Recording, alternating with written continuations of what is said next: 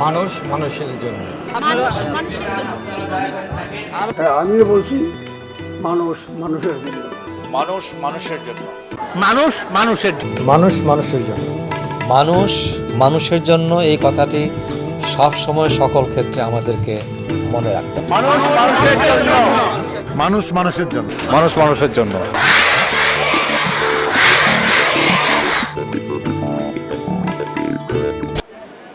আমি আমার পরিশ্রমের পুরস্কার পেয়েছি। আমি আমার রাজনৈতিক জীবনের সর্বোচ্চ স্বীকৃতি পেয়েছি। বঙ্গবন্ধু কন্যা বাঙালির সূর্য কন্যা শেখ হাসিনা। আমার রাজনৈতিক জীবনের শ্রেষ্ঠ। সর্বশ্রেষ্ঠ স্বীকৃতি, সর্বোচ্চ স্বীকৃতি তিনি আমাকে দিয়েছেন। আমি আমার নেত্রীর কাছে, আমার অভিভাবকের কাছে তাকে কৃতজ্ঞতা জানানোর ভাষা আমার জানানো তিনি আমাকে যা দিয়েছেন আওয়ামী লীগের মতো একটা ঐতিহ্যবাহী পার্টি। এই পার্টির যে দায়িত্ব তিনি দিতে গিয়ে আমার উপর যে আস্থা রেখেছে, আমি আমার সব খাম, শ্রম, মেধা দিয়ে আমি আমার সব কিছু, শক্তি, সামর্থ্য আমি উজাড় করে দেব আমার নেত্রী প্রদত্ত এই আস্থা, পবিত্রতা রক্ষা করতে সম্মান। পৃথিবী দশটি দেশে আঠাশটি রাজনৈতিক দলের পঞ্চান্ন জন সম্মানিত প্রতিনিধি বাংলাদেশের আওয়ামী লীগের জাত সম্মেলনে যোগদান করতে এসেছে।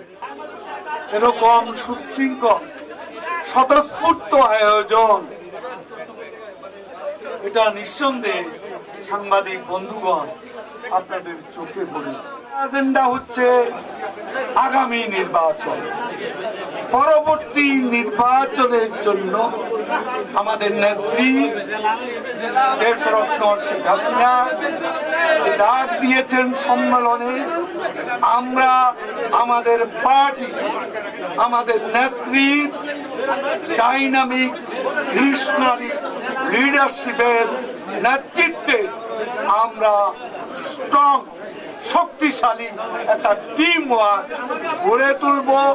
আমাদের তৃণমূল পর্যায় পর্যন্ত গণসংযোগ সক্রিয় করব, বিস্তৃত করব এবং নির্বাচনের সমুদয় প্রস্তুতি আমরা এখন থেকে সূচনা করব আমাদের নেত্রী দেশরত্ন শেখ হাসিনা নেতৃত্বে।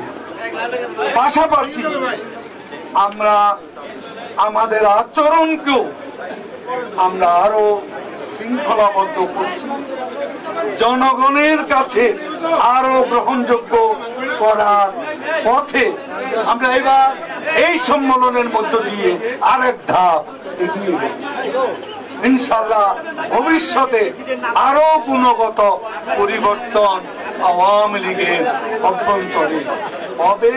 শেখ হাসিনার নেতৃত্বে উন্নয়নের মহাসড়কে এগিয়ে চলেছে দুর্বার। এখন সময় বাংলাদেশের মাথা উঁচু করে দাঁড়াবার। এই স্লোগানকে সামনে রেখে ইতিহাস, ঐতিহ্য ও উন্নয়নের ধারক বাংলাদেশ আওয়ামী লীগের বিশতম জাতীয় সম্মেলন দুই হাজার ষোলো।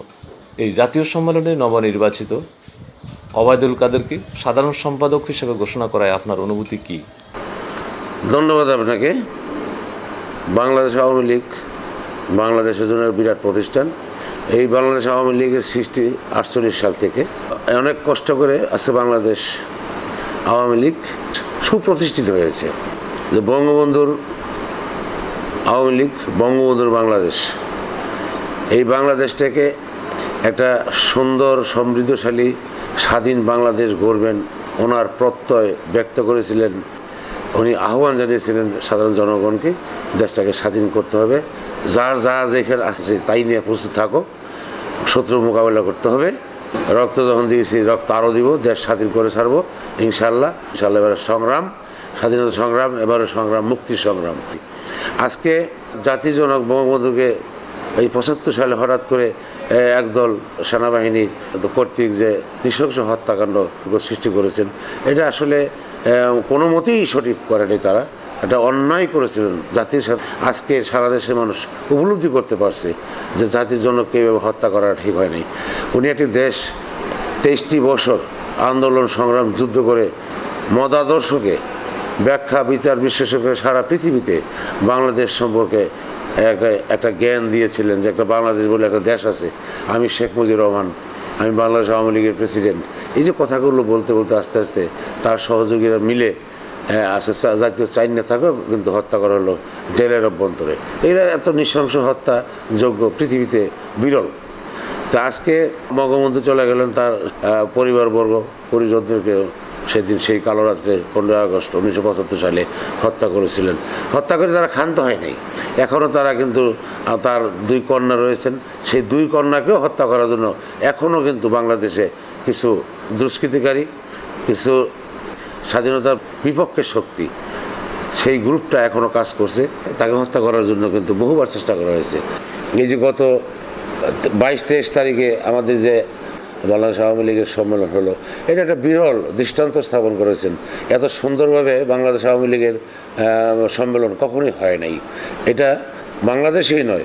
আমি মনে করি সারা পৃথিবীতে নজর রেখেছেন যে তিন বছর পর পর সংগঠন শক্তিশালী করার জন্য যে নির্বাচন করা হয়, নির্বাচনকে কেন্দ্র করে সম্মেলন করা হয়, সেই সম্মেলনে আমাদের সম্মানিত সাধারণ সম্পাদক, উনি যেই উদার চিত্তের পরিচয় দিয়েছেন যে মানসিকতা পরিচয় দিয়েছেন, ওনাকে ধন্যবাদ দিয়ে আমরা খাটো করতে চাই না। সৈয়দ আশরাফ সাহেবকে আবার পাশাপাশি ভালো একটা গন্তব্যস্থলে নিয়ে গেছেন প্রেসিডেন্ট সদস্য করেছেন, একটা ভালো স্থানে দিয়েছেন।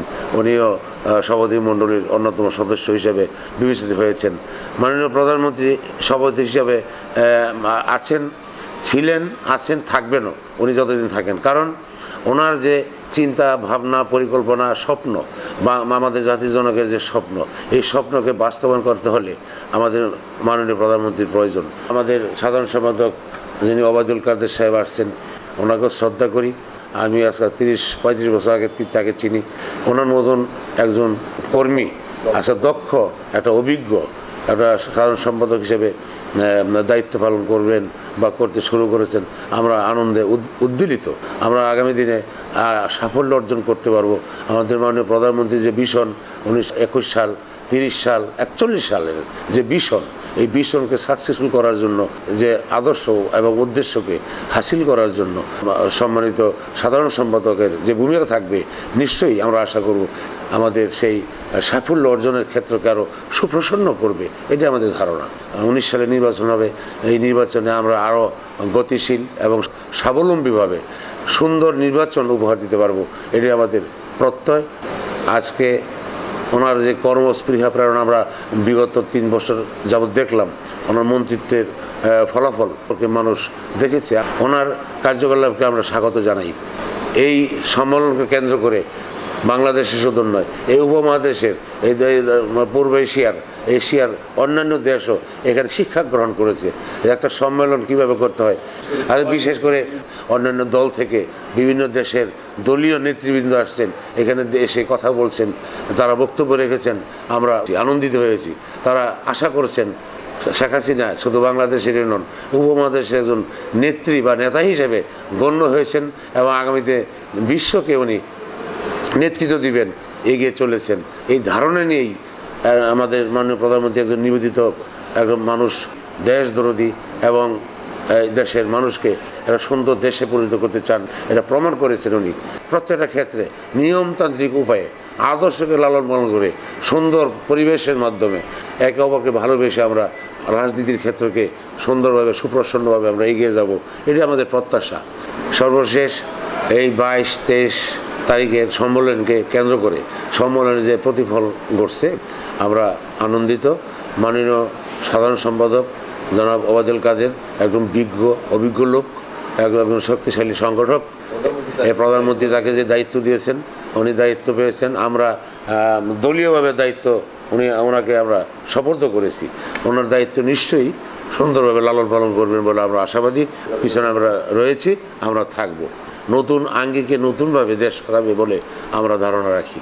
আর সাধারণ সম্পাদককে আমার ব্যক্তিগত পক্ষ থেকে এবং দক্ষিণখান আদর্শ ইউনিয়নের পক্ষ থেকে, ঢাকা উত্তর সিটি কর্পোরেশনের পক্ষ থেকে ধন্যবাদ জানাই, শুভেচ্ছা জানাই, স্বাগত জানাই।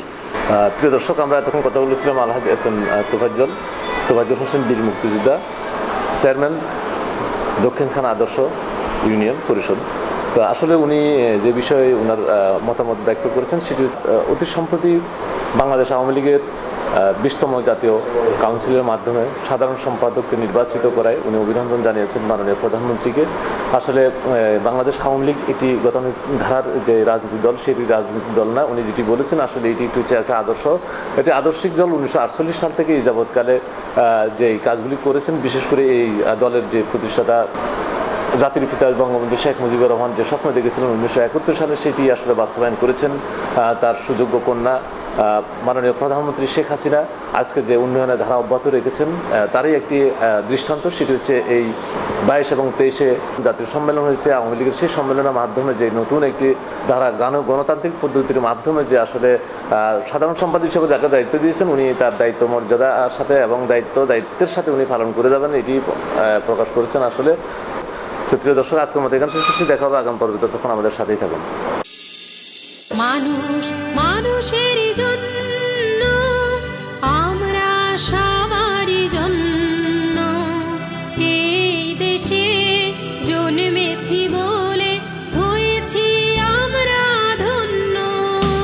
zebra crossing foot over bridge রাস্তা পারাপারের জন্য সচেতন হব আমরা মানুষেরই জন্য। ওভারটেকিং নিষিদ্ধ এলাকা ওভার ট্রেকিং করবেন না। ফিটনেস বিহীন গাড়ি কিন্তু রাস্তায় নামাবেন না। মাদক মুক্ত চাই সমাজ, থাকবে না কোনো সন্ত্রাস। সমৃদ্ধশালী দেশ গড়ার, করব আমরা অঙ্গীকার। মানুষ মানুষের